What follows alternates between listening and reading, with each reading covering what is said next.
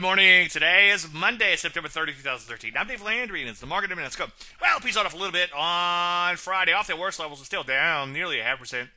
No, no less. Back to chart out a little bit, and as you can see, 1700 remains an inflection point. That's right around the May peak and right around the August peak. Also, futures getting whacked pre-market, so we could open way down below the 50-day moving average. Nothing magical about the average, but it does provide a good inflection point. Back to chart out again, and as you can see, P's really had made a whole lot of forward progress as of late. Let's take a look at the NASDAQ. Shorter term, it's been kind of flat in here. Not much to write home about on Friday. Pretty much a flat day there. 3,700 remains an inflection point here. If it gives up that, then it would have given up all of its recent breakout. You know the routine, though.